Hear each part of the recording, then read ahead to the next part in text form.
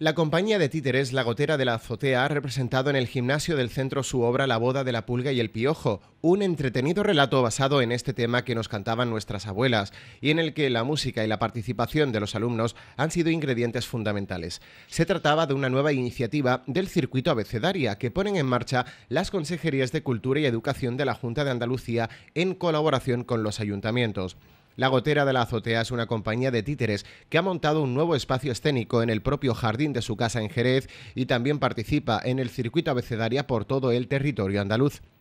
En este caso, los jerezanos celebran una divertida boda en la que participan varios títeres que además interpretan las mismas canciones que cantaban nuestras abuelas en toda Andalucía occidental.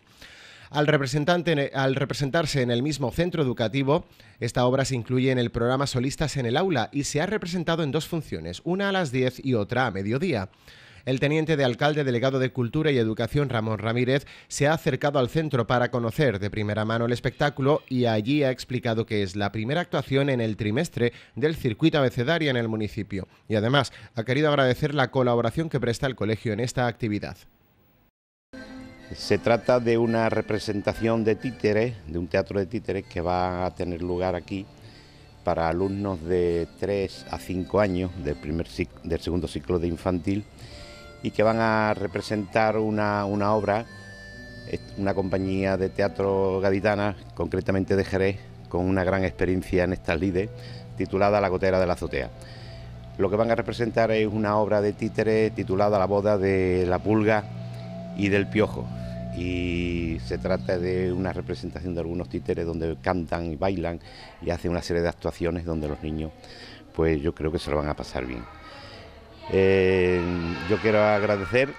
a la, colaboración que presta el colegio en esta actividad y espero de que los niños, pues como siempre, se lo pasen bien. Esta actividad se realiza aquí en el aula y hay otras que también dentro de ese programa de CEDAREA se tiene que realizar en el colegio, eh, perdón, en el Teatro Juan Luis Galiaro, donde los alumnos van allí. Concretamente, esta compañía de teatro viene aquí y esta actividad se realiza en el aula. Además, el Instituto Municipal de Fiestas y Juventud ha iniciado hoy miércoles 10 el ciclo de visitas a los centros de enseñanza secundaria del municipio en una ronda donde técnicos municipales informarán sobre los programas que pone en marcha este departamento a los alumnos de los cinco institutos del municipio.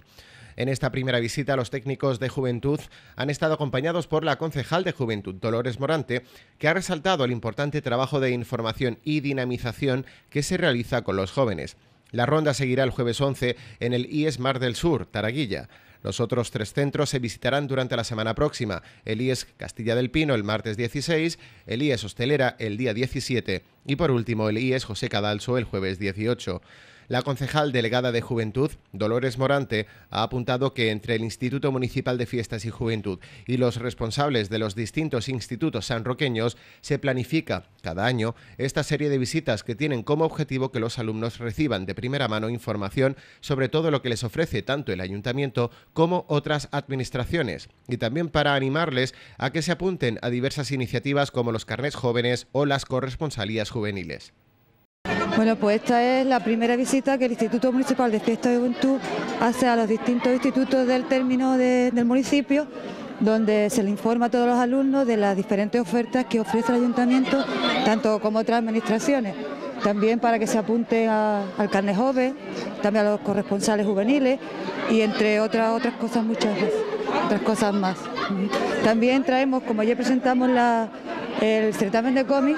y este año hay una categoría que es para escolares, pues también pretendemos eh, que los niños se apunten a este taller, a este certamen de cómic, pues de hasta los 16 años.